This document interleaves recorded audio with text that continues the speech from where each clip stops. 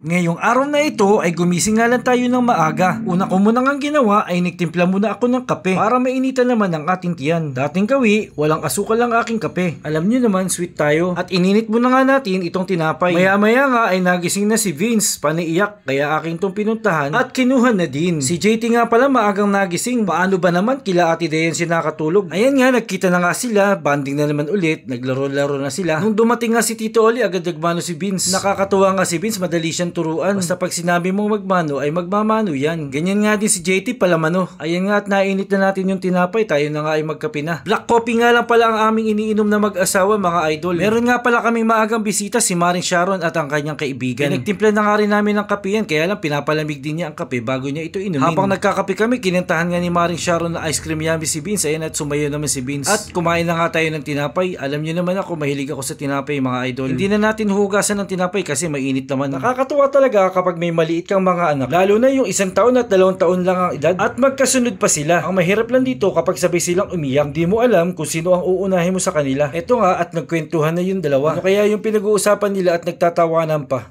Hello, good morning! Kapi tayo!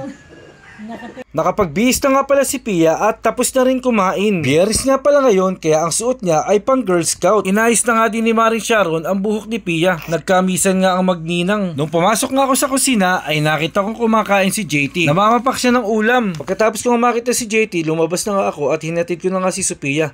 Hindi ko na nga nabidyohan ang paglabas niya. Pagdating nga namin sa kitang eskwelahan, agad na nga bumaba si Sophia. Hindi ko na nga pala na ihahatid si Sophia sa kanyang kwarto sapagkat wala akong maparkingan at bawal na rin pumasok sa loob. Hindi ko na nga pala sinama si JT sa paghatid kay Sophia sapagkat ako'y may pupuntahan. Sa hindi inaasahang pagkakataon, Naplat ang ating gulong. Buti na lang may malapit na vulcanizing shop dito sa hangga. Nung chinek na niya ang aming gulong, ang pito pala nito ay tanggal na. Kailangan na daw palitan ng interior. Ayun na nga at pinalitan na nga niya ng interior. Minsan talaga, dumarating sa ating buhay ang mga pangyayaring hindi natin inaasahan. Madalang pa naman ang biyahe namin ngayon. At least bago na ang interior, Sigurado matagal-tagal na itong magagamit. Pwede na itong gamitin na pangmalayuan. Nang maayos nga ang gulong ng aking tricycle ay agad akong pumunta dito sa Hanging Bridge na matatagpuan dito sa may Abulalas. Ito nga pala ay under construction. Isang linggo pa lang daw sila nagtatrabaho dito. Pagkatapos ko nga pala mag-content dito sa Abulalas, umuwi naman ako ng San Pablo. Nadat na ako dito si Calor, pinapanood nila si Paring Lohel na gumagawa ng kulungan ng manok. At dito na rin ako nagpalipas ng oras habang hinihintay ang paglabas ni Sophia. At nang pagsapit nga ng uwian ni Sophia, agad ko siyang sinundo. Nang makauwi kami ng bahay ay hinanap ko agad yung dalawa. Abay eto't kagigising lang daw Nung marinig ang aking boses, agad silang tumayo. Nakakamiss talaga yung dalawa na to. Kahit na ilang oras pa lang kami hindi nagsasama, ay namimiss ko talaga silang dalawa. Ito nga si Mrs. ay nakapagpahinga din. Nagse-cellphone nga lang siya nung aking madatnan. Sinusulit lang niya ang pagkakataon habang tulog yung dalawa. Kaya naman, nilabas ko na si JT at saka si Vince para makapaglaro sila dito sa labas. Pero hanggang terrace lang naman sila. Nang makapaglaro sila at napagod, sila nga ay humingi ng gatas. Si Vince ay gustong gusto na rin dumede sa bote. Akala ko nga makakatulog ulit yung dalawa, hindi hindi pala. Kaya nanood muna kami ng TV. At nang sumapit nga yung dilim, ay orsan lang inom ng gamot ni Vince. May ubot sipon pa rin si Vince. Kaya inuubos na lang niya ang kanyang gamot. Si JT naman ay tapos na ang kanyang gamutan. At nilinis na rin ni Beng itong si Vince. Si JT nga pala ay una na niyang nalinis. Kaya itong aming bunso ay patutulugin ko na. Ito lang ang aking expert pagpapatulog ng mga bata.